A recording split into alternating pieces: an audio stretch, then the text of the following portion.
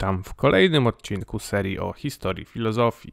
Dziś opowiem Wam o sofistach, czyli o pewnym nurcie filozoficznym i ruchu społecznym z V i IV wieku przed Chrystusem. Słowo sofista początkowo oznaczało uczonego i mędrca, co powinno być zrozumiałe, w końcu Sofia to po grecku mądrość. No więc Herodot nazwał sofistą Pitagorasa, czyli zdecydowanie uczonego ale nazwał też tak Solona, czyli po prostu szanowanego polityka, który w jego ocenie sprawował mądre rządy. Potem słowo sofista zaczęło oznaczać wędrownego nauczyciela i ten zawód wykonywało paru interesujących nas dziś filozofów, aż w końcu za sprawą Platona, Arystotelesa i Ksenofonta sofista zaczął oznaczać pseudouczonego i osobę, która stosuje erystykę, czyli która będzie skłonna sięgać po najgłupsze i, i niekoniecznie poprawne formalnie argumenty, byleby postawić na swoim i wygrać dyskusję. W konsekwencji tego pejoratywnego znaczenia nabrały też słowa sofizmat i sofistyczny. Erystyka, czyli sztuka prowadzenia sporów w nie do końca czysty sposób, to po grecku eristike, a to zaś słowo pochodzi od słów eristikos, czyli kutliwy, no i od imienia bogini niezgody Eris. Nie jest do końca uczciwe sugerowanie, że to sofiści pierwsi ją uprawiali, bo przecież już Eleaci się parali programowym uzasadnianiem absurdalnych tez. Pamiętacie paradoksy Zenona? Nie wiem jak u was to wygląda, ale we mnie one budzą swojego rodzaju podziw ze względu na ich bycie nośnikami problemów filozoficznych, ale jednocześnie budzą straszne podirytowanie ich absurdalną, nieżyciową konstrukcją. Toż to czysta erystyka była. Wracając do sofistów, to zarzucano im erystykę, nie oglądając się zupełnie na fakt, że ten zarzut bardziej pasował do późniejszych epigonów niż do poprzedzających ich wybitnych filozofów. To częste wrzucanie wszystkich sofistów do jednego worka bierze się stąd, że więcej o nich wiemy od ich wrogów niż z zachowanych sofistycznych dzieł, bo większość ich pism się nie zachowała. Dlatego powinniśmy być ostrożni przy ocenianiu ich stanowisk. We wstępie podkreślmy jeszcze, że sofiści nie stanowili szkoły filozoficznej, tak jak na przykład Jończycy, i filozofia nie była ich pierwszym czy głównym przedmiotem zainteresowania. Byli nauczycielami przygotowującymi do życia publicznego, przekazującymi nie tylko suchą encyklopedyczną wiedzę, ale również nauczającymi umiejętności praktycznych. Tym, co jednak odróżniało sofistów od po prostu zwykłych nauczycieli, było to, że byli jednocześnie filozofami i mieli jakiś całościowy światopogląd, na którym opierali swoją koncepcję wychowania. Oprócz tego, że sofiści uczyli ludzi przemawiać, to sami chętnie zabierali głos w sprawach publicznych. Przekładając to wszystko na dzisiejsze czasy, pomyślcie o sofiście jako o mieszance akademika, publicysty i polityka. Okej, okay, ale skąd się wzięła sofistyka? Na to pytanie jest kilka odpowiedzi i nie wykluczają się one wzajemnie, a raczej uzupełniają. Pierwsza z nich głosi, że pojawienie się sofistów było odpowiedzią na demokratyzację Aten. Każdy obywatel mógł na drodze losowania zająć urząd wiążący się z dużą odpowiedzialnością i wymagający wiedzy i umiejętności praktycznych, stąd pojawiła się potrzeba, by obywatel potrafił rozumować, przemawiać i przekonywać. Wcześniej edukacja wyglądała tak, że była nieobowiązkową i prywatną sprawą. Ograniczała się do nauki czytania, pisania i liczenia, a następnie przerabiano Homera, Hezjoda i wiersze Solona. Można też było liznąć muzyki, a reszta czasu szła na ćwiczenia fizyczne. Brało się to z zupełnie innego modelu człowieka. Możecie zauważyć u Homera, a więc w okresie jeszcze przedfilozoficznym, że arete, czyli dzielność lub cnota, jak częściej dziś tłumaczymy, nie przysługiwała sługom i tracił ją bohater, który dostał się do niewoli. Tylko szlachcic mógł dokonywać bohaterskich czynów i były one powiązane przede wszystkim z siłą i sprawnością fizyczną, a miarą tej dzielności było uznanie i cześć ze strony innych. Homer miał pewne zrozumienie dla cnót duchowych, bo na przykład pozytywnie przedstawił Achillesa współczującego Priamowi śmierci syna, ale raczej wyczytywano w nim to, co chciano wyczytać, stąd skupiano się na sile. W końcu jednak, pod wpływem demokratyzacji, arete dzielność przekształciła się w zaangażowanie w życie publiczne i wypełnianie obowiązków obywatelskich nadrzędnych wobec obowiązków rodzinnych, zawodowych i religijnych. Arete przestało być zależne od pochodzenia i majątku. Oczywiście arete u Pitagorejczyków też było oparte nie na pochodzeniu, a na wiedzy, ale sekta ta miała charakter ekskluzywny. Dopiero z sofistami upowszechniło się bardziej egalitarne podejście do kwestii cnót i wykształcenia. To zaś zapewniło im popularność, pieniądze i protektorów, ale o tym później. Drugi czynnik, który zrodził sofistykę, to wyczerpanie się filozofii przyrody, co doskonale widzieliście w odcinku o eklektykach, którzy próbowali powracać do starszych koncepcji filozoficznych. Skoro nie dało się powiedzieć więcej o naturze, to zaczęto interesować się człowiekiem i kulturą. Ten zwrot humanistyczny w filozofii również wpłynął na bardziej praktyczny charakter kształcenia. Wiedza przestała być poznaniem dla samego poznania, a służyła aktywnemu uczestniczeniu w życiu obywatelskim i sukcesom osobistym, np. w sprawach sądowych. Kształciła więc nie tylko umysł, ale również sprawności moralne i społeczne. Termin paideia, oznaczający do czasu sofistów wychowanie i kształcenie kończące się w momencie podjęcia obowiązków obywatelskich, zmienił swoje znaczenie. Pojęcie to objęło swoim zakresem wszystkie czynniki pozytywnie kształtujące człowieka dla określonego praktycznego celu, a więc całokształt kultury duchowej. Stało się tym, co później ludzie posługujący się łaciną, a my po nich nazwiemy kulturą. Wychowanie stało się na swój sposób równoznaczne, a przynajmniej bliskoznaczne z kulturą, a więc możemy pomyśleć o wychowaniu jako o włączaniu do kultury. Przy czym to włączanie nie kończy się w momencie wyjścia ze szkoły. Ono trwa całe życie. Kolejny istotny czynnik to, że tak powiem z marksistowska konieczność historyczna. To znaczy, wiecie, to, że coś brzmi jak marksistowskie wyjaśnienie, nie oznacza, że od razu jest fałszywe. Może nie była to konieczność dziejowa spowodowana ruchami zaczarowanej materii, jak chciałby marksista, ale była to poniekąd konieczność danej sytuacji społeczno-politycznej. Wojny perskie rozszerzyły geograficzne, a w konsekwencji również kulturowe horyzonty Greków. Więc gdy ludzie porównali prawa i obyczaje różnych ludów, to zmusiło ich to do pytań o naturę państwa, społeczeństwa, prawa, sprawiedliwości, moralności czy religii. Do tej pory były one dane jako odwieczne i niezmienne, no ale pojawiły się wątpliwości. Czy prawa kształtuje faktycznie natura, czy to sami ludzie ustanawiają je na mocy konwencji? Innymi słowy, fizys czy nomos.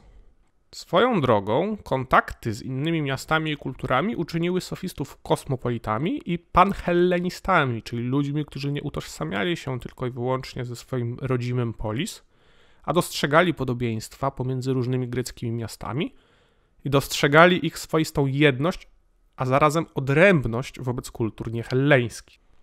Reakcja na sofistykę. Wspomniałem już, że w pewnym momencie postrzegano sofistykę jako coś złego, ale nie zawsze tak było.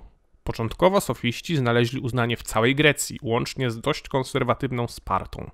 Gdy tylko pojawiał się gdzieś jakiś sławny sofista, ściągał on z okolic tłumy ludzi, gotowych zapłacić za ich, jakbyśmy to dziś powiedzieli, spicze.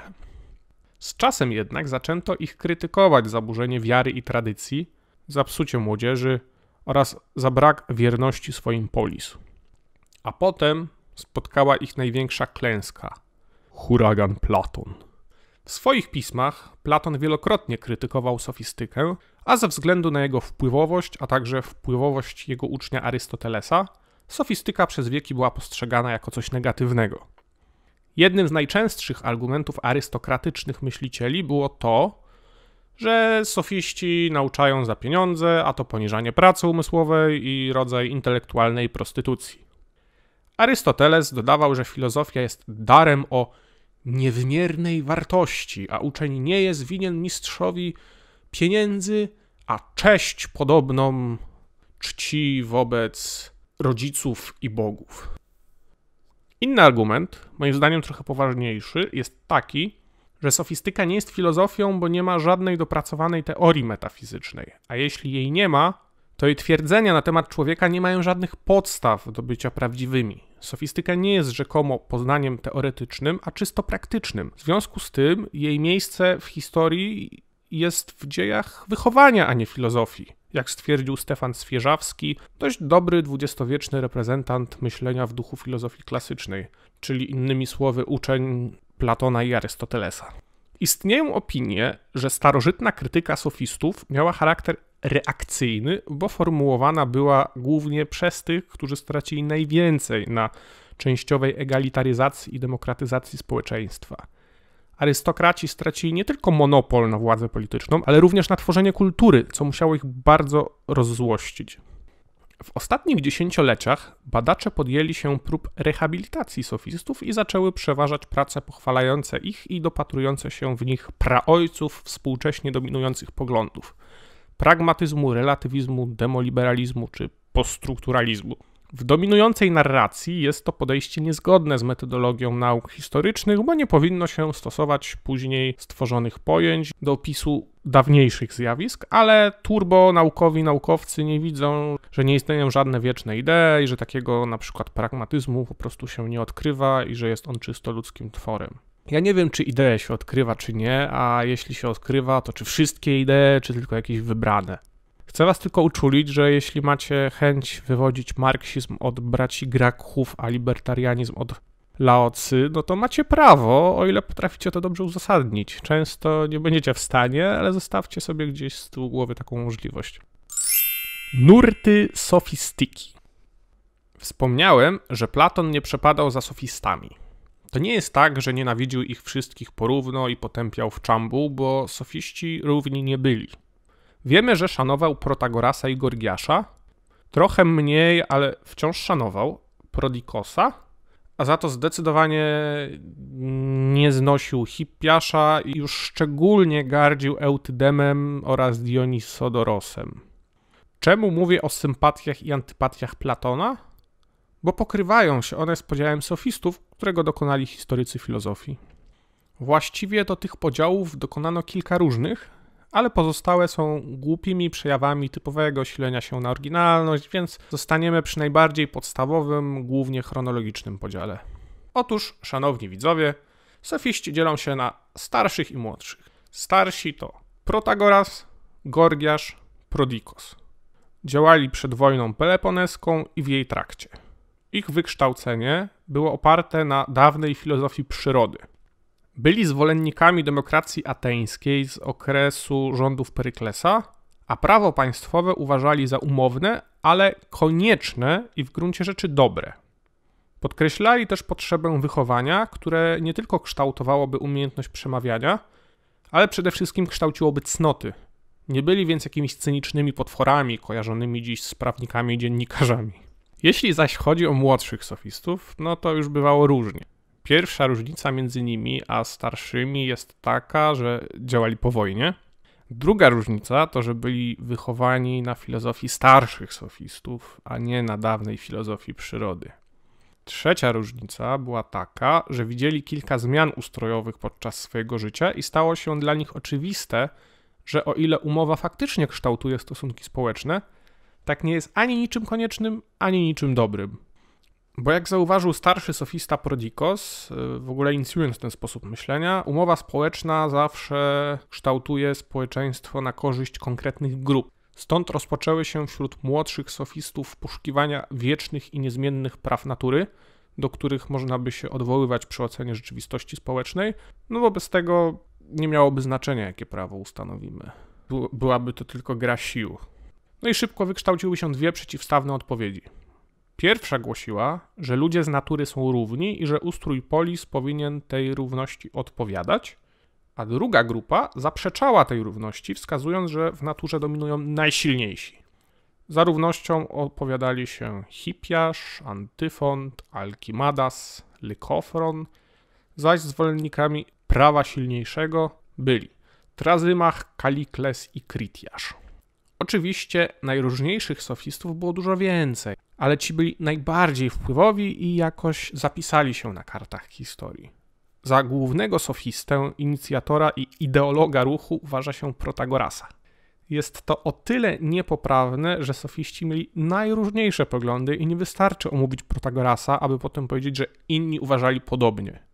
Protagoras był co najwyżej pierwszym wpływowym sofistą, ale nie mamy żadnej wiedzy o tym, czy on był faktycznie pierwszym wędrownym, filozofującym nauczycielem. Po prostu on pierwszy zaistniał w świadomości szerszych kręgów. Temat sofistów jest zazwyczaj traktowany po macoszemu w podręcznikach, więc mam nadzieję, że uda mi się Was przekonać, że przynajmniej niektórzy sofiści zasługują na trochę naszego uznania, nawet jak nie zgadzamy się z ich stanowiskami. Bez zbędnego przedłużania przechodzimy do pierwszego z nich. Protagoras z Abdery. Protagoras żył w latach 480-410 przed Chrystusem. Jego ojciec zajmował się handlem morskim, a on sam w młodości zarabiał ucząc dzieci czytania i pisania. Zapoznał się też w tym okresie z filozofią Heraklita i Eleatów.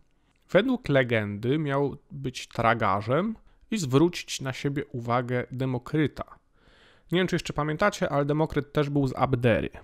W każdym razie Protagoras wymyślił jakiś sprytny sposób mocowania ładunku do pleców, a Demokryt to zauważył, zagadał, no i tak miała zacząć się ich znajomość i dyskusje o filozofii. Ponoć Demokryt skrytykował relatywizm Protagorasa, ale najwidoczniej na ubogim tragarzu nie zrobiło to wrażenia, że 20 lat starszy, słynny myśliciel poddał go krytyce. No, nie wiem, ja bym się nie przywiązywał zbytnio do tej historii, bo nie jest zbyt pewna. Za to pewne jest to, że Protagoras, korzystając z pobytu w Italii, odwiedził Sycylię, gdzie doskonalił się retorycznie w szkole Koraksa i Teisiasa, słynnych mówców sądowych. Przypisuje im się tę samą historię, którą potem przypisywano Protagorasowi i jego uczniowi Euatlosowi. Ponoć Euatlos miał żądać zwrotu honorarium za naukę u mistrza, bo mimo jego obietnic nie wygrał ani jednej rozprawy sądowej.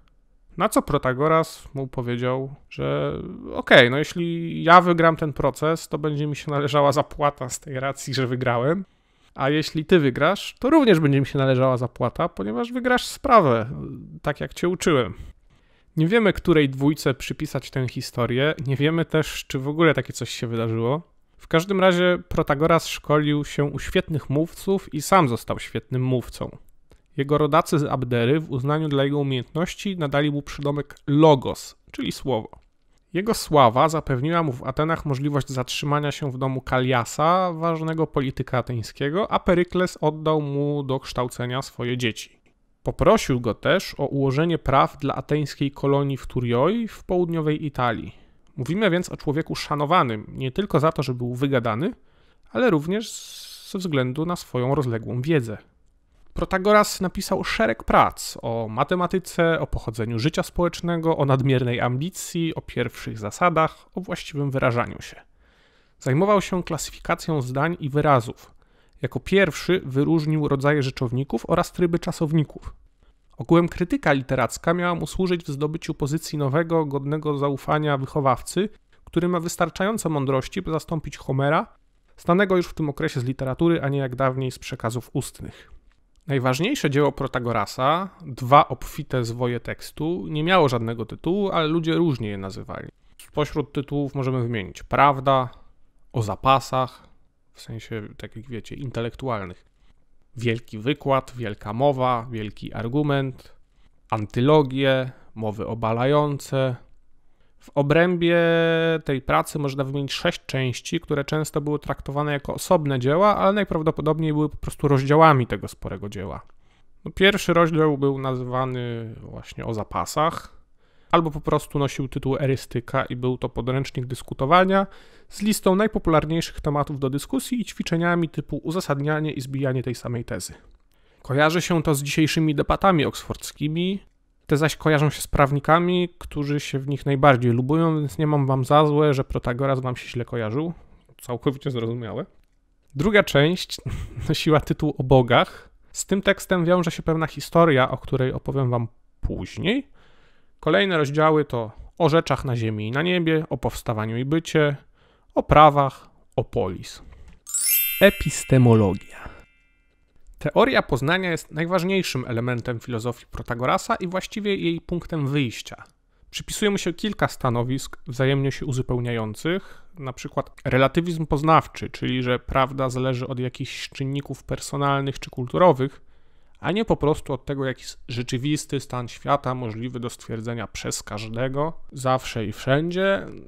I przypisuje mu się także sensualizm, czyli pogląd, że wszelka wiedza pochodzi ze zmysłów. Powiem wam na podstawie czego tak się twierdzi, aby sami ocenicie, czy to prawda, bo to trochę dyskusyjne. Zatem homo mensura. Pewnie kojarzycie to ze szkoły. Człowiek jest miarą wszech rzeczy. A dokładniej, wszystkich rzeczy miarą jest człowiek, istniejących, że są, nieistniejących, że nie są. Co to znaczy? Zazwyczaj rozwija się to tak, że gdy wieje wiatr, jednej osobie może być zimno, a drugiej może być ciepło. Dlatego wiatr sam w sobie nie jest ani zimny, ani ciepły. Jednocześnie Protagoras głosi coś, co byśmy współcześnie nazwali pragmatyczną teorią prawdy. Istnieją mniemania przydatniejsze od innych. Czyli człowiek jest miarą prawdy i fałszu, ale nie jest miarą tego, co pożyteczne i szkodliwe. Ale przecież zdania na temat pożyteczności i szkodliwości też możemy oceniać jako prawdziwe lub fałszywe. Czy mamy więc sprzeczność? Cóż, jeśli Protagoras był relatywistą powszechnym i uważał, że w ogóle nie istnieje prawda obiektywna w żadnym przypadku, no to mamy ewidentną sprzeczność.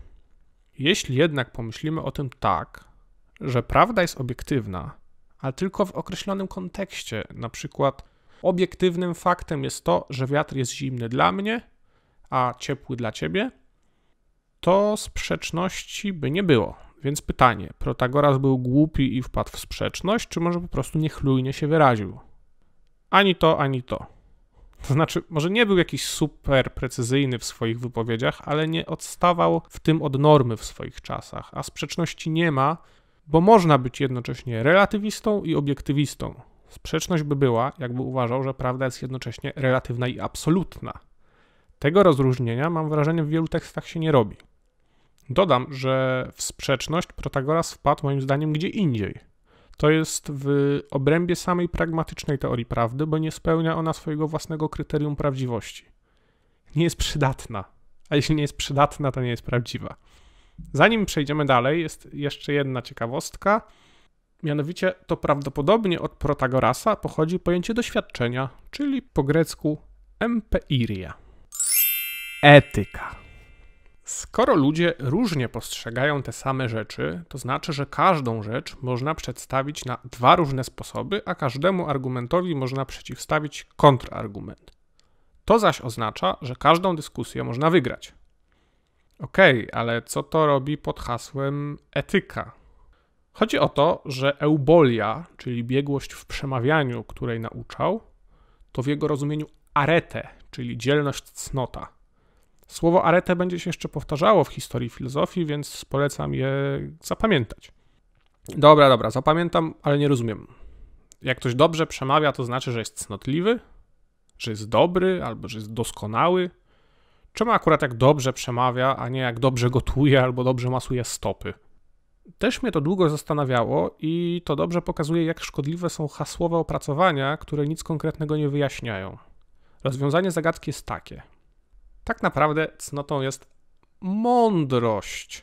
To mądrość jest cnotą, bo mądrość pozwala prowadzić lepsze życie, a żyjemy cały czas, podczas gdy gotujemy tylko czasem albo i wcale. Stąd, jakby ktoś pytał, mądrość jest trochę przydatniejsza niż smażenie kurczaków. I skąd ja wziąłem tą mądrość? Pewnie się zastanawiacie. Według zasady homo mensura, chory oceniający negatywnie smak jedzenia ma tyle samo racji, co zdrowy, który nie ma stępionego węchu i smaku, ale lekarz może mu przywrócić zdrowie, by jedzenie było dla niego przyjemniejsze. Podobnie mędrzec może zmienić czyjeś relatywnie prawdziwe przekonania, hamujące go na przykład przed czymś, czy zadające mu jakieś cierpienie, w efekcie czego będzie czuł się lepiej bez tych przekonań. Skoro nie ma znaczenia, w co się wierzy, to trzeba wierzyć w to, co sprawia, że życie jest najlżejsze.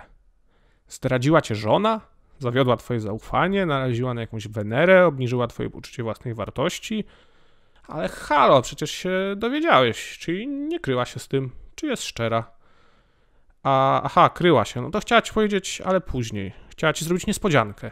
Wenery żadnej nie będzie, bo się zabezpieczała i ma sprawdzonego kochanka, a skoro skacze w bok z takim Adonisem, a mimo to nie rozwiodła się z tobą, łysiejącym grubasem, to zobacz, jaki musisz być świetnym mężem, powinno ci to schlebiać. I nagle sponiewierany rogacz stał się nowoczesnym, otwartym na nowe doświadczenia i wrażliwym na potrzeby żony facetem. Choroba, jaką jest nieszczęście i cierpienie, została uzdrowiona miodem spływającym od złotoustego mędrca. Jak Protagoras odpowiedziałby na moją drwinę? Retoryka i erystyka to narzędzia, które powinny służyć człowiekowi wyrobionemu filozoficznie, bo w innym przypadku będą służyć do złych celów. Złe cele to po prostu to, co niekorzystne dla danych ludzi w danym momencie, a jeśli jednak żona tego nieszczęśnika się nie zabezpieczała, współżyła z kolesiem przypadkowo poznanym w barze i nie rozwiodła się, bo traktuje swojego męża, na którego nie może patrzeć, jak bankomat, to nie powinno się tej żony bronić, bo dla zdradzanego męża lepsze może być zerwanie kontaktu albo uświadomienie sobie problemu i praca nad małżeństwem. Ale skąd wiemy, czy lepsze będzie odwracanie wzroku od problemu, rozwód czy terapia małżeńska? Możemy to określić tylko na gruncie jakiejś zewnętrznej etyki. Ta protagorasowa jest bezużyteczna. Jedyne, co trzeba mu oddać, to że nie był sofistą we współczesnym, potocznym znaczeniu tego słowa, miał jakieś nie do końca uświadomione poczucie moralności, uznawał jednak jakąś prawdę obiektywną, nawet jak robił to niekonsekwentnie i tylko kontekstualnie. No i nie był zwolennikiem czczego gadania prowadzącego do zwycięstwa dla samego zwycięstwa. Zwycięstwo powinno służyć jakiemuś dobru, nawet jak nie umiał tego wyrazić takimi słowami. Poglądy społeczne. Swoje przemyślenia na tematy społeczne Protagoras zawarł w micie. Mit przypominam uprzejmie, nie oznacza czegoś fałszywego. Jest to po prostu pewna forma przekazu. W każdym razie głosił on tak. Pierwotnie ludzie mieli do przetrwania tylko rozum. On dał im przewagę nad zwierzętami, ale ludzie dalej stanowili dla siebie nawzajem zagrożenie i żyli w rozproszeniu. Zeus postanowił to naprawić i podarował ludziom wstyd, aidos, i poczucie prawa, dike, na których mogliby oprzeć porządek państwowy. To słowo dike wróci przy Platonie, więc je odnotujcie jakoś staranniej w głowach. Dike poczucie prawa. Aidos i dike otrzymali wszyscy ludzie, ale nie każdy potrafi je utrzymać i dla takich ludzi, zdaniem Protagorasa, nie ma miejsca w państwie. W związku z tym trzeba się uczyć cnoty politycznej, jeśli nie chcecie być wyklęci przez wspólnotę. Natura człowieka, fizys, sprawia, że charakteryzuje się on predyspozycją do arete dzielności, ale dopiero predyspozycja w połączeniu z askezis, czyli ćwiczeniem, owocuje rozwiniętym politycznie człowiekiem. Z mitu Protagorasa wynika, że społeczeństwo, państwo i prawo nie są odwieczne, a powstają na pewnym etapie rozwoju człowieka dla zaspokojenia jego potrzeb. Skoro prawo jest umowne, to należy je zracjonalizować, by było jak najbardziej praktyczne, jego zdaniem taką racjonalizacją byłaby na przykład sytuacja, gdy prawo nie ma charakteru zemsty na przestępcy, a pełni przede wszystkim rolę odstraszającą. Kolejna rzecz, którą możemy odczytać z mitu, to że skoro wszyscy ludzie w momencie powstania państwa byli równi, to demokracja najlepiej odpowiada tej naturalnej równości i najlepiej zaspokaja ludzkie potrzeby. Z drugiej jednak strony, nic nie wskazuje na to, by Protagoras był zwolennikiem równości mężczyzn i kobiet, czy wolnych obywateli i niewolników. Był dość konserwatywny, co wiązało się z jego relatywizmem poznawczym. W pierwszej chwili brzmi to dziwnie, bo współcześnie relatywiści kojarzą się z ludźmi bardzo luźno podchodzącymi do wszelkich tradycji i kodeksów moralnych, ale nasz bohater rozumował tak. Skoro żaden ustrój nie jest bliższy prawdzie niż inne, to należy trzymać się tradycji, bo ta już jest wypróbowana i wiemy przynajmniej, jakie ma skutki. Tradycja społeczna nie jest absolutną prawdą, lecz jest normą dla dobrego obywatela.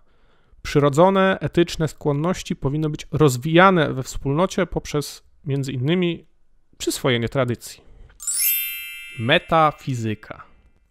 Pora na obiecaną historyjkę związaną z tekstem o bogach. Ponoć w domu słynnego dramaturga Eurypidesa odbył się odczyt, na którym padły następujące słowa z ust Protagorasa.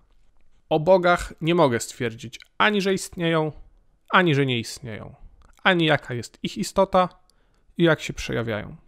Wiele bowiem okoliczności stoi na przeszkodzie w ich poznaniu, a między innymi ich niewidzialność i krótkość żywota ludzkiego. Innymi słowy, wygłosił agnostycyzm teologiczny. Nie oznaczało to, że w bogów nie wierzył, tylko że uważał, że nie można udowodnić ich istnienia. Prywatnie jednak oddawał im cześć i jak podaje Platon, Protagoras nawet kazał swoim uczniom składać ofiary w świątyni. To wszystko jednak miało nie przeszkadzać Pythodorosowi, członkowi Rady 400, wnieść oskarżenia o bezbożność po tym odczycie. Nie wiadomo jaki wyrok zapadł, ale Protagoras miał uciec i utonąć w drodze na Sycylię. Ofiarami tej ustawy, zwanej ustawą do Peistesa, byli też Anaksagoras i Sokrates. Problem z tą historią jest taki, że Platon w dialogu Protagoras wkłada mu w usta stwierdzenie, że nigdy nie zaznał żadnej przykrości z tytułu bycia sofistą. Ciężko uznać, że groźba śmierci i konieczność ucieczki nie są przykre. Z drugiej strony aluzję do tego procesu można znaleźć aż w dwóch tragediach Eurypidesa oraz u dość rzetelnych starożytnych historyków. Eurypides zmarł przed Sokratesem, więc na pewno nie odnosił się do procesu Sokratesa, a określenie wszystko wiedzący słowik mus zdecydowanie pasowało do Protagorasa. Wniosek? Pewności nie mamy, ale chyba można bez wyrzutów sumienia powtarzać dalej tę historię w celach rozrywkowych. Jeszcze z kwestii metafizycznych to zachowała się mało rozbudowana informacja, że dusza, zdaniem Protagorasa, to zbiór wrażeń zmysłowych. W związku z tym nie może być oddzielona od ciała, a więc najprawdopodobniej nie ma życia po śmierci. To mogłoby wzmacniać tezę o bezbożności Protagorasa, zwłaszcza że czynności związane z kultem mógł postrzegać jako element tradycji, a nie coś koniecznego. Może faktycznie uważał, że bogów nie ma, ale obrzędy są koniecznym elementem kultury i kształtują określone cnoty. Kto wie? Pływy Protagorasa. Encyklopedycznie Protagoras inicjuje ruch sofistyczny, chociaż już wiecie, że to nieprawda. Co za to możemy stwierdzić z pewnością? Po pierwsze, jego uczniowie Kseniades z Koryntu i Eutydem z Chios pociągnęli jego poglądy o relatywnym poznaniu do skrajności, głosząc niemożność jakiegokolwiek poznania. Po drugie, pod jego wpływem byli poeci Eurypides, Sofokles i Diagoras z Melos, a także matematyk Teodoros z Cyreny i wielu, wielu innych. Nawet Antystenes i Arystyp, uczniowie Sokratesa, który nie był mu przychylny, czerpali z poglądów Protagorasa. Po trzecie, krytykowali go Sokrates, Ksenofont, Platon i Arystoteles. Wreszcie po czwarte, od XIX wieku obserwujemy modę dopatrywania się w Protagorasie i innych sofistach prekursorów najróżniejszych współczesnych poglądów, np. pozytywizmu czy pragmatyzmu. Gorgiasz. Kolejny słynny sofista, któremu się przyjrzymy, to Gorgiasz z Leontinoi, który żył w latach 483-375 przed Chrystusem. Leontinoi to polis położony na Sycylii, ale od 427 roku przed Chrystusem Gorgiasz bawił w Atenach jako poseł swojego miasta.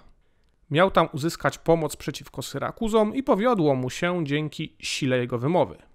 Wypełnienie tej misji plus inne prywatne popisy retoryczne ściągały wielu słuchaczy, gotowych płacić mu wiele za nauki. Ludzie znali dotychczas tylko suche mowy sądowe, a on zaczął do przemów wplatać figury stylistyczne znane do tej pory tylko w poezji, np. antytezy, czy też po prostu stosował rzadko używane słowa i konstruował zgrabne przenośnie. Generalnie stworzył podwaliny pod attycką prozę artystyczną, nic więc dziwnego, że Platon nazwał go logodaidalos, czyli dedal słowa. Starość spędził w Tesalii na dworze tyrana Jazona Sferai.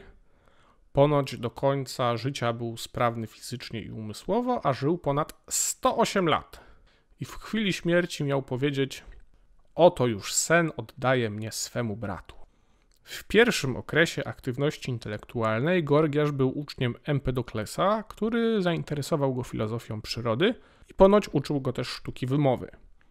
Gorgiasza interesowała szczególnie teoria wypływów i prawdopodobnie wtedy napisał dzieło poświęcone optyce. Trzy tezy Gorgiasza. W drugim okresie twórczości Gorgiasz polemizował z Eleatami, głosząc sceptycyzm. Napisał wtedy dzieło pod tytułem O naturze, czyli o niebycie, co stanowiło odwrócenie tytułu dzieła Melissosa. Z tego okresu pochodzą słynne trzy tezy Gorgiasza, które kojarzy się z jego filozofią, nie zwracając zupełnie uwagi na to, że później będzie głosił co innego. No ale trudno. Te tezy to nic nie istnieje. Nawet jak coś istnieje, to człowiek nie może tego poznać. Nawet jak może to poznać, to nie może tego przekazać. Brzmi dziwnie. Co to w ogóle za pomysł? Jak on do tego doszedł? Spróbujmy to prześledzić krok po kroku. Zatem tak. Nic nie istnieje. Gorgiasz stwierdził, że no, skoro mamy w filozofii sprzeczne koncepcje bytu i nie można stwierdzić, czy jest jedność, czy wielość, czy rzeczywistość jest stała, czy zmienna, to znaczy, że jest żadna. Nie ma jej, bo nie może być wewnętrznie sprzeczna. Gorgiasz wykorzystał tu broń Eleatów przeciwko nim samym. Dodatkowe wyjaśnienie jest takie, że nic nie istnieje, bo jeśli by istniało, to albo musiałoby być wieczne, albo musiałoby zacząć istnieć. Jednakże nic nie może zacząć tak po prostu istnieć, ani z bytu, ani tym bardziej z niebytu. Co najwyżej byt może się przekształcać.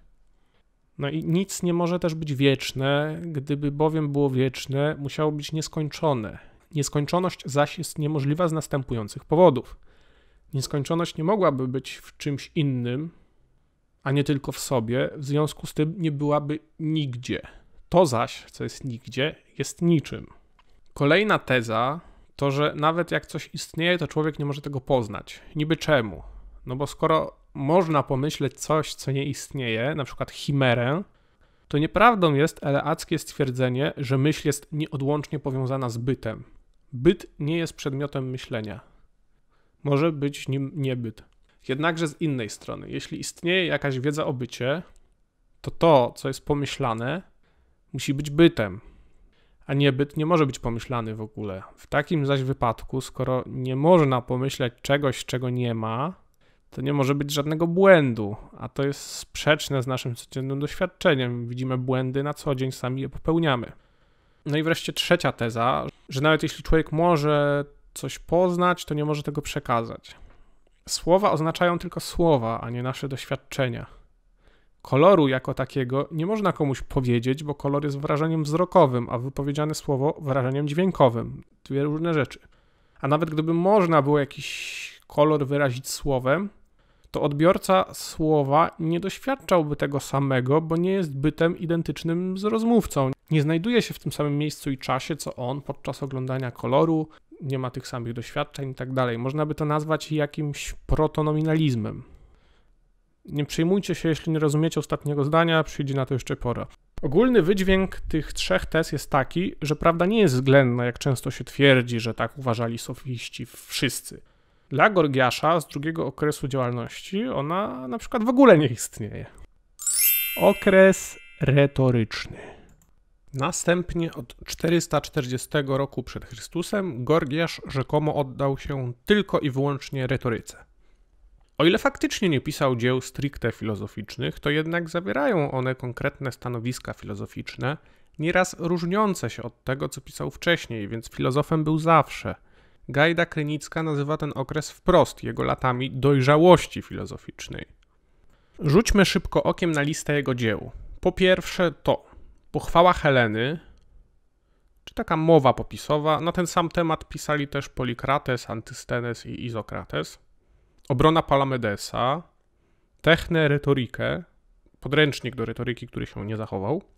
Epitafios, mowa ku czci Ateńczyków poległych w wojnie peloponeskiej.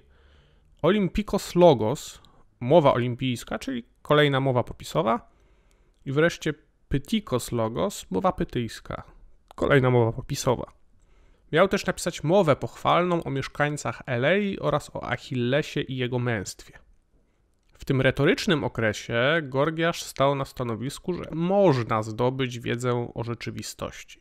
W pochwale Heleny rozróżniał mniemania i wiedzę za Parmenidesem, ale nadał im inne znaczenia. Mniemania według Gorgiasza są kształtowane przez potęgę słowa, zaś wiedza to wynik spostrzeżeń zmysłowych, bo rzeczy mają obiektywne jakości. Słowo może oddziaływać tylko na ludzi, którzy nie mają żadnej wiedzy, czy jak to ładnie ujął Gorgiasz, nie pamiętają przeszłości, nie badają teraźniejszości i nie domyślają się przyszłości. W obronie Palamedesa również widać, że dla Gorgiasza przedmiotem wiedzy jest obiektywnie istniejąca rzeczywistość, której przysługują obiektywne jakości. W utworze tym dodaje, że nabywa się ją nie tylko poprzez poznanie bezpośrednie, ale też przez przekaz wiarygodnego świadka. czyli kogoś, kto poznał coś bezpośrednio. Etyka. Wiedza nie tylko jest do zdobycia, ale wręcz jest niezbędna dla właściwego postępowania. Osobiście wyznawał powszechne wartości wyznawane w Grecji, tak jak Protagoras, i tak jak on krytykował tych, którzy wykorzystywali retorykę w złych celach. Mówił nawet, że należy ich karać wygnaniem lub śmiercią. Powszechne mniemania na temat tego, co jest dobre, skłoniły go do świadomego przyjęcia etyki sytuacyjnej. Uważał, że dla różnych osób, różnych stanów, w różnych miejscach i w różnych sytuacjach są różne cnoty. Cnota w tym ujęciu to po prostu dobre wypełnianie swojej natury, mówiąc trochę późniejszym językiem, tyle że natura jest różna dla niewolnika, polityka, lekarza czy rzeźbiarza.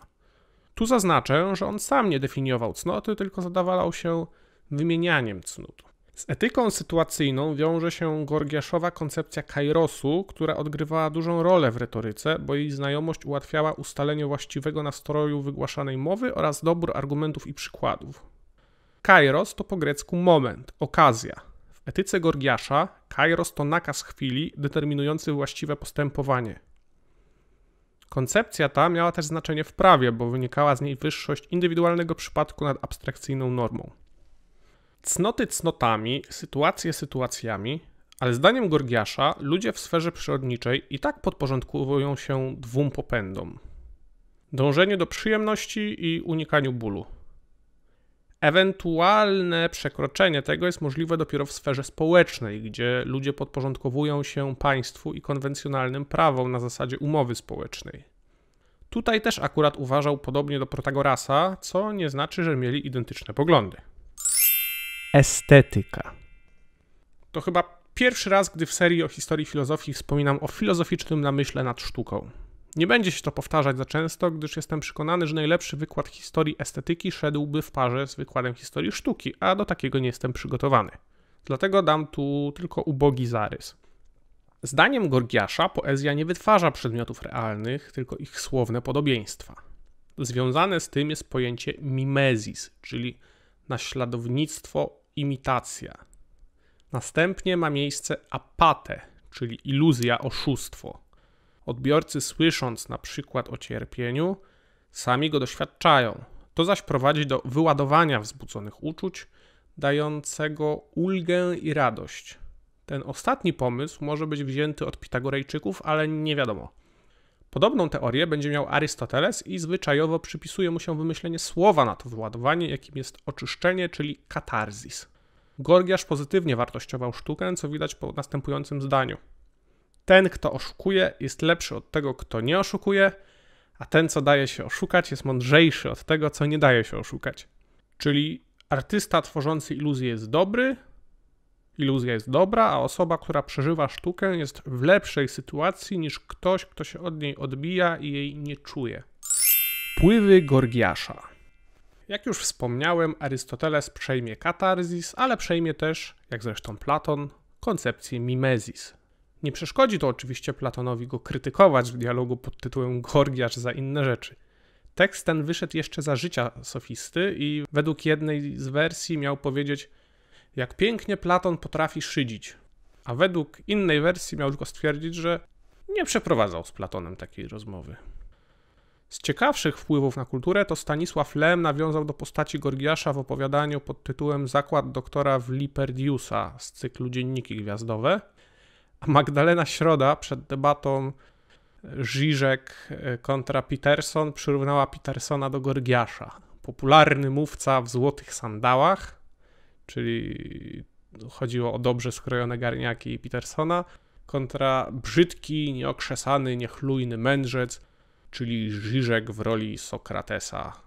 Oczywiście to porównanie bazuje na czarnej legendzie Gorgiasza i sofistów, więc zostawimy je bez pogłębionego komentarza.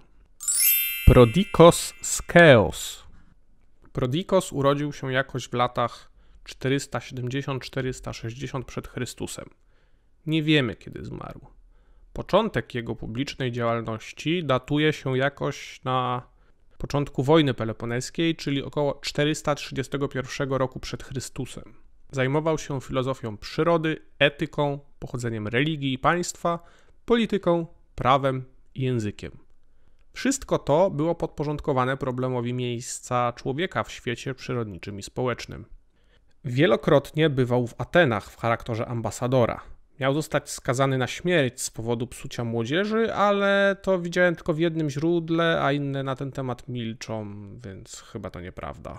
Biorąc pod uwagę, że w tych czasach to popularny motyw, to nie jest wykluczone, ale równie dobrze mógł zostać z kimś pomylony, więc bezpieczniej powiedzieć, że to nieprawda, że został skazany na śmierć. I tego się trzymajmy. Mm, w swoich rozważaniach skupiał się na synonimice i na różnych odcieniach znaczeniowych danych synonimów. Miało to rzekomo dawać przewagę w retoryce, choć autor raczej przeceniał moc swojego odkrycia bo często nie ma większego znaczenia, czy nazwiemy kogoś prostytutką, czy panną lekkich obyczajów, mimo że to drugie określenie przez swoją elegancję, zdaje się, ma trochę lżejszy wydźwięk. Były dość bliskie poszukiwaniu definicji pojęć przez Sokratesa. Zresztą Sokrates w platońskich dialogach nazywa go swoim mistrzem. Ale widziałem, że ktoś twierdził, że to ironicznie, więc nie wiem co sądzić. Możemy pamiętać, że Sokrates nie działał w próżni i większość mu współczesnych nie odróżniała go od sofistów, ale być może to nie Prodikos zapłodnił go intelektualnie. Jak często w starożytnej historii filozofii, zostawmy sobie pewien margines błędu. Prodikos napisał co najmniej trzy dzieła. Pierwsze nosiło tytuł O naturze człowieka i pisał tam o anatomii i fizjologii, Galen, czyli obok Hipokratesa najsłynniejszy lekarz starożytności, cytował fragmenty tego pisma, więc musiało być naprawdę niezłe. Drugie dzieło Prodikosa miało tytuł O poprawnym mówieniu, a trzecia praca to jego główne i najsłynniejsze dzieło pod tytułem Pory. Pory w sensie pór roku, a nie że pory warzywa albo jakieś otwory w skórze. W porach, za pomocą apologu znanego jako Herakles na rozdrożu, przedstawił swoją etykę. A apolog to taki krótki utwór dydaktyczno-moralizatorski o charakterze alegorycznym. Ten konkretny apolog przekazał nam Ksenofon w swoich wspomnieniach o Sokratesie. Streszczę wam teraz tę historię, okrajając ją ze wszelkich walorów literackich i nawet zacznę zdanie tak jak ponoć nie wolno. No więc Herakles gdy dorósł i stał się samodzielnym człowiekiem, usiadł na rozdrożu i zaczął się zastanawiać, czy powinien podążać drogą cnoty czy występu. Podeszły nagle do niego dwie piękne kobiety. Jedna ubrana w białą szatę i posiadająca skromne spojrzenie, a druga o bujnych kształtach z mocnym makijażem i kusą suknią. No i ta druga wyrywa się pierwsza do przodu i mówi mu, że jak ją weźmie za przyjaciółkę, to go poprowadzi przez życie najprzyjemniejszą i najłatwiejszą drogą, a wtedy jego największymi zmartwieniami będzie co dziś wypić, zakąsić i z kim się przespać. Herakles mówi, no spoko, a jak ci w ogóle na imię? To tamu odpowiada, że przyjaciele mówią na nią szczęście, a wrogowie nieprawość. W końcu odzywa się druga kobieta, szara myszka, że nie będzie go zwodzić żadnymi obietnicami i jasno stawia sprawę, że nazywa się cnota, a przyjaźń z nią będzie bardzo trudna i wymagająca, bo bogowie nie dają dobrych i pięknych rzeczy za darmo. Jeśli bogowie mają mu sprzyjać, to musi ich czcić. Jeśli przyjaciele mają go lubić, to musi im wyświadczać dobrodziejstwa. Jeśli chce być podziwiany w całej Grecji, no to musi być cnotliwy. Jeśli chce, by ziemia wydawała plony, to musi ją uprawiać. Jeśli trzoda ma się mnożyć, to musi jej doglądać, a jeśli ma zdobyć chwałę wojenną, to musi ćwiczyć sztukę wojskową. Wtem przerywa jej nieprawość. No widzisz, Heraklesie, co ona ci proponuje? Ja mam dla ciebie łatwiejszą i przyjemniejszą drogę. Pójdź ze mną. Na to odpowiada cnota, że nie ma prawdziwej przyjemności, jeśli nie ma żadnych trudów w drodze do jej zdobycia. Zanim jakiekolwiek pragnienie się w człowieku obudzi, nieprawość już go nasyca. Zanim poczujesz głód, już się najadłaś. Zanim pragnienie, już się napiłaś. Śpisz nie z powodu zmęczenia, a dla zabicia czasu. Następnie cnota dodaje, że zwolennicy nieprawości mają w młodości słabe i wycieńczone ciała, a na starość zgaszone i otępiałe umysły oraz że nie znają prawdziwego piękna, bo takowym są dobre uczynki, których nieprawi nie robią. Doskonała szczęśliwość wymaga zatem trudów. Koniec historii. Czyli jakie Prodikos miał poglądy etyczne? Sądził, że cnota, dzielność jest najwyższym dobrem człowieka, bo zapewnia łaskę u bogów, miłość przyjaciół cześć w ojczyźnie, sławę i pamięć po śmierci, co tam jeszcze sobie wymarzycie. Jest dostępna każdemu, a jej warunkiem jest znajomość własnej natury i praca nad tą naturą. Używając mądrych i może trudnych słów, jak włoski historyk filozofii Giovanni Reale, Prodikos skonfrontował prymitywny hedonizm z rozumnym eudaimonizmem i utylitaryzmem. Co to znaczy? Hedonistyczny to oczywiście uważający przyjemność za najwyższą wartość. Eudaimonizm, eudaimonia to szczęście, a eudaimonizm to doktryna etyczna stawiająca eudaimonię za swój cel, tak z grubsza mówiąc. Koncepcje eudaimonii były różne, tu istotne jest to, że szczęście nie wynika z zaspokojenia potrzeb ciała, a z dobrego życia. Te potrzeby ciała mogą być w to wliczone, ale jakby niekoniecznie są najważniejsze. I wreszcie utylitaryzm, przekonanie, że to, co pożyteczne, jest dobre. To wszystko słowa, którymi Prodikos się nie posługiwał, ale my możemy dla naszej wygody mu przypisać. Zainspirowany Protagorasem Prodikos przyjął teorię rozwoju społecznego głoszącą, że ludzie żyli jak zwierzęta i z tego stanu wyzwoliło ich dopiero rolnictwo, które umożliwiało im stworzenie stałych siedzib i rozwój fizyczny oraz duchowy. Wspólna praca jest więc fundamentem więzi społecznych i organizacji państwowej. Stwierdził, że demokratyczne państwo powstało dla ochrony interesów stanu średniego, który ustala prawa na drodze umowy. Prawa mają zabezpieczać klasę średnią zarówno przed uciskiem bogaczy, jak i przed biedotą, która jest skłonna do przewrotów politycznych. Jest to o tyle ciekawe, że tego typu pozytywne wartościowanie średniej warstwy społeczeństwa jest popularne i dziś. No i być może coś w tym jest. Prawie wszyscy są przekonani, że miliarderzy są prymitywnymi egoistami i nawet jeśli nie zawsze to prawda, to faktycznie najłatwiej im kształtować prawo po swojej myśli, a najniższe warstwy społeczne często nie mają żadnego kapitału społecznego, żadnej wiedzy, cnót, więc oddawanie sterów państwa ludziom, którzy nie mają o niczym pojęcia, nie jest zbyt racjonalne, bo skończyłoby się bankructwem albo zacofaniem kulturowym. Za to klasa średnia ma już jakąś wiedzę i często uważa się, że w zdrowym społeczeństwie powinna być większością populacji. W przeciwnym wypadku daną społeczność czekają poważne niepokoje społeczne. Stąd mówi się, że niszczenie klasy średniej to przepis na zniszczenie państwa. Wracając do samego Prodikosa, stwierdził, że umowa społeczna kształtuje stosunki społeczne na korzyść określonej grupy ludzi. Nie wartościował tego jakoś negatywnie, ale położył w ten sposób grunt pod cały nurt w sofistyce, który zaczął mówić, że umowa społeczna działa na korzyść określonych grup, a nie całego społeczeństwa i że najczęściej to coś niepożądanego. Stąd jak lubicie tworzyć takie historyczne łańcuszki i przelewać winę za głupie poglądy w czasie na inne osoby, to tu macie taki ważny punkt zaczepienia. Prodikos Skeos to jego wina. Wspomnę jeszcze o jego filozofii religii. Otóż zdaniem Prodikosa religia powstaje na określonym etapie rozwoju ludzkości, gdy ludzie zawiązują pierwsze więzi społeczne. Przedmiot czci jest wynikiem umowy społecznej i religia łagodzi obyczaje. Jeśli chodzi o historię religii, to uznał, że ludzie, będąc pełni podziwu dla natury i owoców własnej pracy, uznali za bogów to, co było dla nich pożyteczne. Czczono więc ogień, słońce, księżyc, rzeki, chleb, wino. Potem czczono personifikację tych rzeczy, czyli olimpijskich bogów i resztę menażerii. Znamienne, że za boskie uznał to, co dla niego było najważniejsze i tożsame z dobrem, czyli właśnie użyteczność, a w życie pośmiertne nie wierzył. Na koniec krótka myśl kojarzona z późniejszymi stoikami, podczas gdy to Prodikos sformułował ją pierwszy. Śmierć nie dotyczy ani żyjących, ani martwych. Miał na myśli to, że żywi nie są martwi, a martwi niczego nie doświadczają, no i w ogóle nie są jacyś. Stąd śmierci nie ma, nie doświadczamy jej. Oczywiście to taka omen nomen sofistyka, bo doświadczamy śmierci naszych bliskich. Hippiasz z Elidy. Hippiasz żył na przełomie V i IV wieku przed Chrystusem. Dokładnych dat jego życia nie znamy, ale był młodszy od Protagorasa i działał współcześnie z nim. Był poetą i politykiem. Zajmował się techniką, matematyką, astronomią, retoryką, historią, etnologią, teorią sztuki, genealogią, chronologią i mnemotechnikami. Ksenofont nazwał go polimatem. Polimates, czyli ten, kto posiadł wszelkie umiejętności. Także widzicie, jak przereklamowany jest człowiek renesansu. Nie używajcie tego wyrażenia, jest średniowieczofobiczne i w gruncie rzeczy ignoranckie. Zresztą średniowiecze też było pełne tak zwanych ludzi renesansu. Szkoda strzępić język.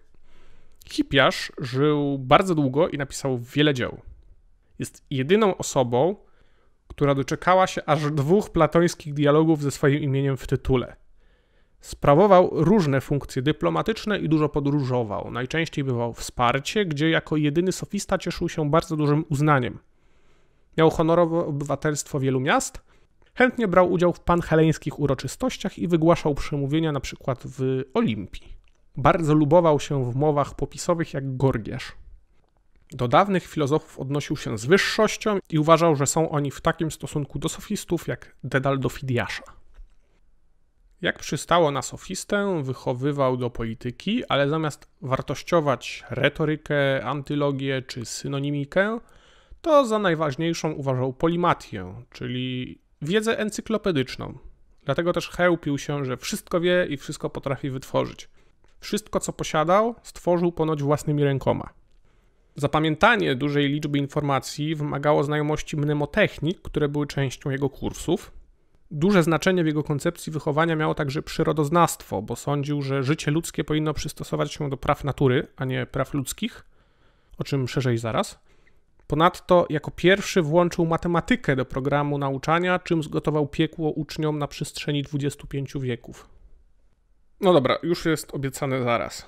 Hipiarz przeciwstawiał nomos, czyli prawo stanowione, fizys, czyli naturze. Prawo ludzkie to czysta konwencja, co widział doskonale po badaniu zwyczajów różnych ludów. Uważał, że jest ono akceptowalne, dopóki nie sprzeciwia się naturze. Człowiek może łamać prawo stanowione, jeśli nikt tego nie zauważy lub jeśli dysponuje jakąś dużą siłą społeczną, która go obroni. Lecz przed konsekwencjami złamania praw natury obronić się nie można i zawsze będzie mieć to negatywne konsekwencje dla człowieka. A co to w ogóle jest ta cała natura? Naturą człowieka jest przyrodzone wszystkim żywym stworzeniom dążenie do przedłużenia gatunku. U zwierząt jest ono czysto biologiczne, a u ludzi przybiera formę dążenia do nieśmiertelności. Czyli co dokładnie? No, na pewno człowiek musi spożywać przyswajalne pokarmy i płyny, oddychać, spać, unikać zagrożeń, leczyć choroby, rany itd. Najlepiej mu to jednak wychodzi w kooperacji z innymi ludźmi obdarzonymi taką samą naturą. Ponadto, dla spełnienia swojej natury, musi wnieść do społeczności coś, dzięki czemu będzie zapamiętany. Wersją minimum dla tego ostatniego wymogu jest posiadanie dzieci, które po prostu będą pamiętały o swoich rodzicach i przekazywały historię na ich temat. W wersji bardziej heroicznej no, trzeba stać się postacią historyczną po prostu. Jak już zostało powiedziane, Hippiasz uważał, że ludzie z natury są podobni do siebie, nawet niewolnicy i barbarzyńcy, czyli nie Grecy. To podobieństwo między ludźmi jest czymś, co ich łączy, zaś prawo stanowione zadaje gwałt naturze i dzieli na na przykład grupy społeczne czy wspólnoty polityczne. Stąd lepsze dla człowieka są prawa niepisane, wspólne wszystkim ludziom. Treść tych praw nie są nam raczej znane, ale spodziewałbym się, że to jakieś fundamenty etyczne typu nie zabijaj, nie kradnij. Antyfont. Nie wiadomo kto i nie wiadomo skąd. Uczeni spierają się, czy to ta sama osoba co Antyfont z Ramnus, e, retor z tych samych czasów. Antyfont z Ramnus był arystokratą, co według niektórych kłóci się z egalitaryzmem Antyfonta sofisty – ale przecież sofista uważał, że ludzie są równi pod względem podległości przyrodzie, a nie, że są równi dosłownie, więc ja nie widzę tu żadnej przeszkody. Są jeszcze nudne kwestie krytyki źródeł, które wam i sobie daruję, i dla ułatwienia przyjmiemy wzorem mnóstwa autorów, że to jednak jeden i ten sam antyfont. Zatem antyfont żył w latach 480-411 przed Chrystusem w czasie wojny peloponeskiej wygłaszał prospartańskie mowy i mowy w obronie uciskanych sprzymierzeńców Aten. Angażował się też w działalność heterii, czyli tajnych arystokratycznych stowarzyszeń o charakterze antydemokratycznym. Zaczął być traktowany w Atenach bardzo podejrzliwie, więc raczej nie zabierał nigdy głosu na zgromadzeniu ludowym i nie bronił nikogo w sądzie osobiście, chociaż wspierał przyjaciół klientów radami i układał im mowy, w czym był specjalistą. Został w końcu oskarżony o udział w oligarchicznym zamachu stanu i demokraci skazali go na śmierć. Bronił się, że jego poglądy na demokrację wynikają z jego osobistych korzyści, a w demokracji powodzi mu się bardzo dobrze, więc przecież nie mógł być jej niechętny. No jakoś nie przekonało to trybunału i po egzekucji nie pochowano jego zwłok i wystawiono stelę mającą przypominać jego hańbie. E, stela to taka kamienna płyta, na której umieszczało się napis jak coś. Antyfont napisał co najmniej trzy dzieła filozoficzne. Peri homonoias o zgodzie, Politikos, czyli jakiś traktat polityczny oraz Peri aletheas, czyli o prawdzie. W tym ostatnim widać wpływy eleatów. Antyfont przyjmował monizm i uważał, że człowiek jest jednością ze strukturą kosmosu.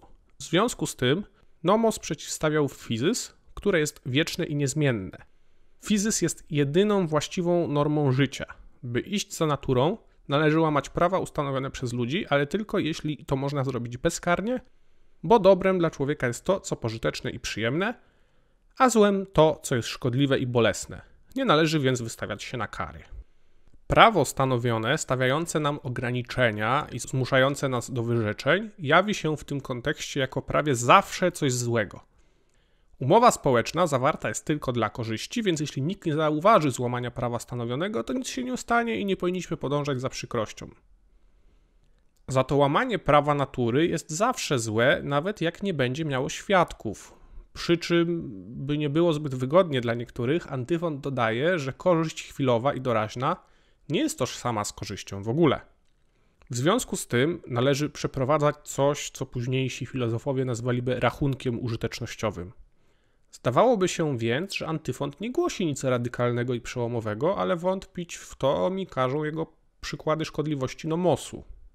Z analizy ustaleń prawnych, takich jak konieczność opieki nad starymi rodzicami, konieczność składania prawdziwych zeznań w sądzie, czy z zakazu szkodzenia współobywatelom, wyciągnął wniosek, że nie mają one na celu korzyści jednostki, a stosowanie ich jest wbrew naturze, która przecież popycha nas do działania dla własnego egoistycznego zysku. Rodzice mogli kogoś zaniedbywać, a zeznania w sądzie mogą ściągnąć zemstę. Jeśli coś przynosi smutek, to jest niepożyteczne i złe. Jeśli chodzi o politykę, to zdaniem Antyfonta jedność natury powinna być wzorem dla jedności państwa i wewnętrznej jedności człowieka.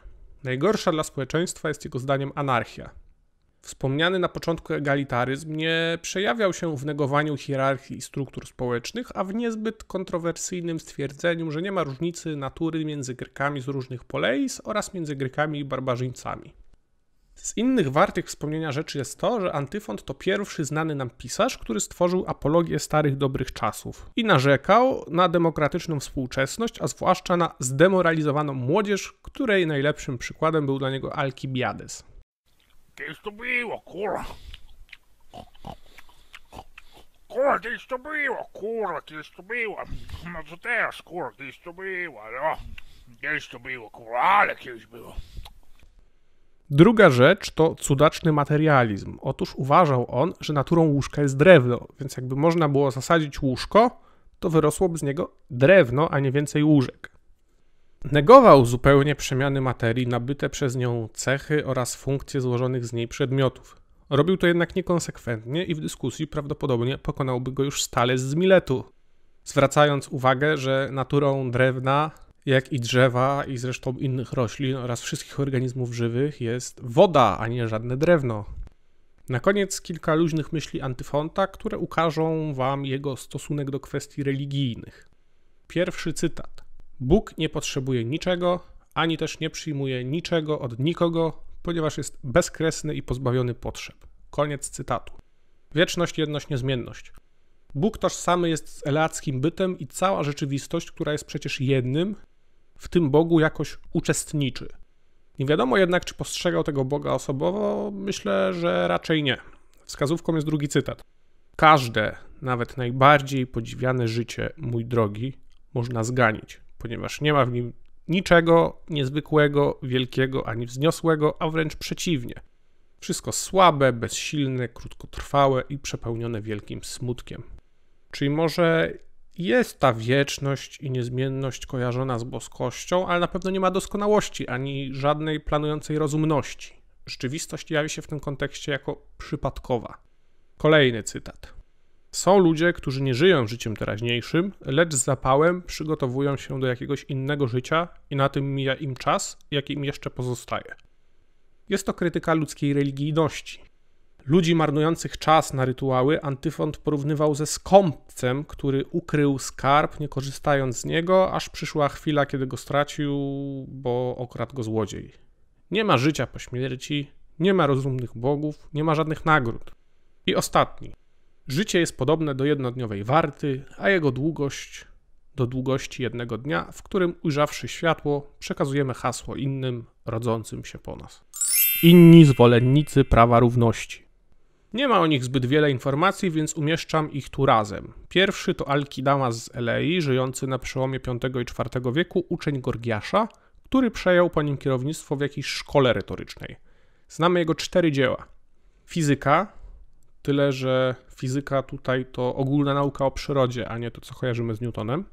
Mowa przeciwko sofistom, Krytykował w tej mowie ludzi uważających się za sofistów, a którzy potrafili tylko pisać mowy będące kompilacjami podręczników do retoryki. Stwierdził, że są równie dalecy od retoryki jak od filozofii. Trzecie dzieło, mowa w obronie Messeńczyków, Messeniakos Logos, dotyczyła wyprawy Epaminondasa na Peloponez w celu uwolnienia Messeńczyków spod spartańskiej okupacji. I czwarte dzieło, Muzeion, był to dialog pochwalający filozofię i wykształcenie. Jego egalitaryzm objawiał się tym, że twierdził, że Bóg wszystkich ludzi uczynił wolnymi, a natura nie uczyniła nikogo niewolnikiem. Drugi zwolennik prawa równości to Lykofron. Jego życie to też V i IV wiek przed Chrystusem. Wiemy, że w 364 roku przebywał w Syrakuzach na dworze Dionizjusza II. Wyznawał do tego stopnia posunięty sceptycyzm teoriopoznawczy, czyli tak bardzo wątpił w naszą zdolność poznania świata, że nie używał nawet orzeczenia jest w zdaniach oznajmujących. Uważał, że państwo powstaje w wyniku umowy społecznej zabezpieczającej interesy wszystkich obywateli. Ludzie z natury są równi, więc powinna panować równość wobec prawa. A że nomos nie jest w stanie kształtować pełnej sprawiedliwości, o czym świadczą podziały społeczne, to jest zdecydowanie gorsza od fizys. Kritiasz z Aten Żył w latach 460-403 przed Chrystusem. Był kuzynem matki Platona, ten zresztą uczynił go bohaterem dialogów Kritiasz i Timaios. Z luźniejszych ciekawostek to w 415 roku był jednym z oskarżonych wraz z Alkibiadesem w procesie Hermokopidów po tym jak nieznani sprawcy uszkodzili przydrożne posągi Hermesa. Był to wielki skandal w tamtym czasie. Jeśli chodzi o trochę poważniejsze zagadnienia, to Kritiasz pochodził z rodu wywodzącego swój początek od ateńskiego króla Kodrosa. Jego ojciec Kallaischros brał udział w przewrocie oligarchicznym w 411 roku, więc możliwe, że i Kritiasz brał w tym jakiś udział, ale nie wiadomo. Za to na pewno po upadku demokracji w Atenach w 404 roku przed Chrystusem został przywódcą tak zwanego rządu 30 tyranów, skazał na śmierć ponad półtora tysiąca demokratów. Wygnał z miasta kolejne pięć tysięcy osób i zakazał nauczania retoryki. W końcu zginął podczas prodemokratycznego powstania Tarazybulosa pod Munichią. Na grobie jego i innych oligarchów jakiś wielbiciel postawił kamień z napisem Pomnik ten wzniesiono ku czci mężów, którzy choć na krótki czas okiełznali zuchwałą butę przeklętego ateńskiego ludu. Czemu nas to interesuje? Kritiasz był jednym z uczniów Sokratesa. Uczył się też u Prodikosa i Gorgiasza. Co prawda porzucił studia, by oddać się polityce, ale Ateńczycy to Sokratesowi chętnie wypominali, dowodząc szkodliwości jego działania. Kritiasz napisał sporo utworów wierszem i prozą, wśród nich Politeia Atenaion, ustrój Aten, Politeia Tetalon, ustrój Tesalii, Politeia Lakedaimonion, ustrój Sparty. Swoją drogą tematy ustrojowe podnosił też w poezji. Napisał również aforizmoi, czyli zbiór aforyzmów, homilia i rozmowy, perifizeos, eroton, e areton o naturze namiętności lub dzielności, demegorika proomia, wstępy do mów politycznych, dramaty tennes, radamantys, perithos, czytane potem chętnie w Cesarstwie Rzymskim, dramat satyryczny Syzyf. Nie był sofistą z zawodu, ale miał zbliżone do sofistów poglądy filozoficzne i wreszcie je omówimy. Poznanie odbywa się dzięki zmysłom i rozumowi. Rozum musi oceniać spostrzeżenia, bo te bywają mylne, co sami dobrze wiecie. Niestety właściwe posługiwanie się rozumem wymaga wyćwiczenia, bo sprawność ta nie przysługuje ludziom z natury. Pierwotnie ludzie żyli jak zwierzęta, więc dominowały najsilniejsze fizycznie osobniki.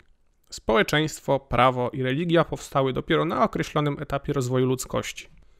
Naturalna skłonność do przemocy została opanowana tylko i wyłącznie poprzez wzbudzenie w ludziach strachu przed karą. Popełniasz przestępstwo, społeczność reaguje. Nadal nie rozwiązywało to jednak problemu zbrodni potajemnych, które mogły nie spotkać się nigdy z żadną reakcją, a wciąż mogły komuś szkodzić, więc po to jakaś wybitna jednostka wymyśliła religię, by zdominować również złoczyńców i zmusić ich do zaniechania niecnych działań.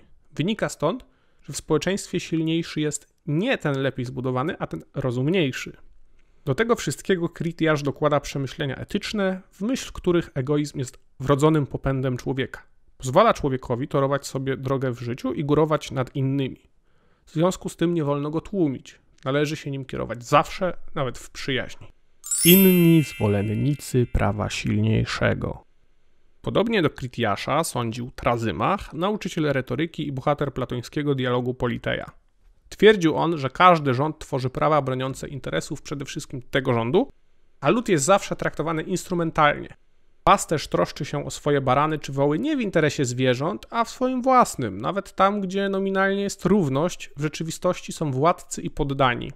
W związku z tym nie podobało mu się demokratyczne dopuszczanie do rządów słabych. To silni mają obowiązek rozporządzania słabszymi, bo sprawiedliwość to to, co leży w interesie mocniejszego. Nie był zaledwie konwencjonalistą twierdzącym, że no, rządzą silni, tak się złożyło, szkoda. Nie. On uważał, że sytuacja, w której rządzą faktycznie silniejsi, jest jak najbardziej wskazana i po prostu dobra. Stąd pochwalał oligarchiczne rządy narzucone przez Spartę. Dziś prawdopodobnie zachwycałby się Chinami. Z dzieł Trazymacha możemy wymienić Megaletechnę, Wielka Sztuka, to był taki podręcznik do retoryki. Pisał też mowy polityczne o charakterze symboleutycznym, czyli takim doradczym, moralizatorskim, a także układał mowy popisowe. Mamy zachowane fragmenty Peripoliteias o państwie i Hyperlarisaion, czyli mowa w obronie Larysejczyków. Cyceron mu też przepisywał jakiś traktat o naturze, ale to z traktatami o naturze wiecie jak bywało. Kolejny zwolennik prawa silniejszego to znany z platońskiego Gorgiasza Kalikles. Prawdopodobnie to z jakiegoś powodu zakamuflowany Charykles, czyli najbardziej krwawy członek kolegium 30 tyranów, zaraz po Kritiaszu. Według innych wersji to postać czysto literacka. Nie jesteśmy w stanie tego rozstrzygnąć, więc przyjmijmy, że był taki filozof i miał następujące poglądy.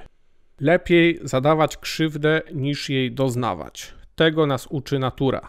Prawo, które stanowi, że powinniśmy unikać za wszelką cenę krzywdzenia innych ludzi, sprowadza nas, silnych, do roli niewolników społeczeństwa składającego się z ludzi słabych.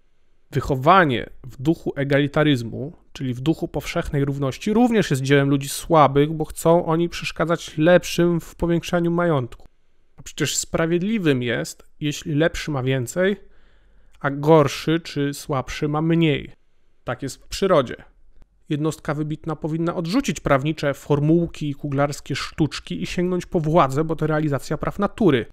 Należy folgować wszystkim zachciankom i rządzom, należy je nawet rozbudzać, by były jak największe, a potem odważnie je spełniać, by osiągnąć jak największy sukces w życiu.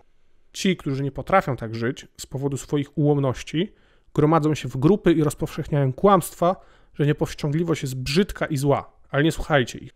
Lepiej już umrzeć, niż żyć jako niewolnik ich podłych łgarstw. Zakończenie. Dużo tego było, więc nie chciałbym robić zbyt długiego tego podsumowania.